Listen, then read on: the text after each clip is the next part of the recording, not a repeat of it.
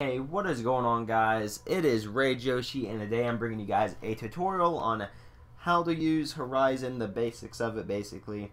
And I'm going to show you guys how to change your device ID, console ID, and profile ID for game saves so you can make them your own. First you want to make sure you have your USB device configured with your Xbox 360. As you can see mine already is. And then you just press this little drag over arrow I guess you could call it and uh, you want to go to your profile. And then you want to double click on profile. So it brings it up or drag and drop it whatever you want to do. And now you want to go to the game save you want to go to. You press inject new file. You go to your game save you want to make uh, your own I guess you could call it.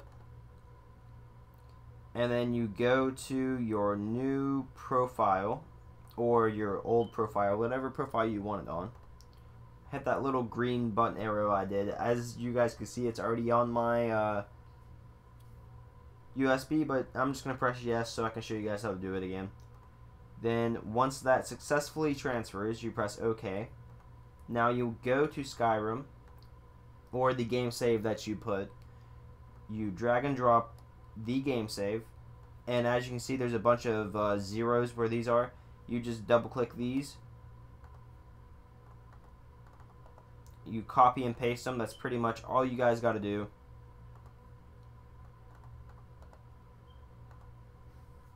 Simple enough right?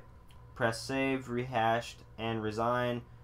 Message will pop up when you're done. I like to hit this twice on game saves just to make sure that they uh, successfully transfer basically that's just it guys. And then there's also pre uh, mod tools so, so, you can mod uh, a lot of popular titles like uh, Resident Evil Borderlands um, Saints Row stuff like that.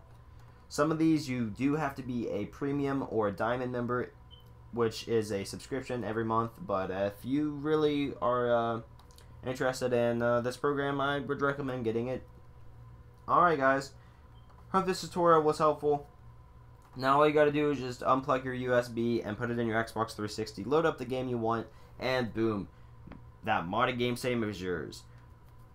The description for Horizon, if you guys don't have it already, will be in the description below, and also a description in the description there's going to be a link to my latest video my monthly mods which this month it's going to be mod this this month sorry i got tongue twisted this month video is skyrim as you can see, this is what the tutorial was made with. So remember to hit that subscribe button if you're new, if you want more modded tutorials, uh, more modded game saves, just a bunch of various content, and hit that like button if this was useful. And uh, thank you guys so much for watching. Comment any questions. Love to help you guys out. See ya.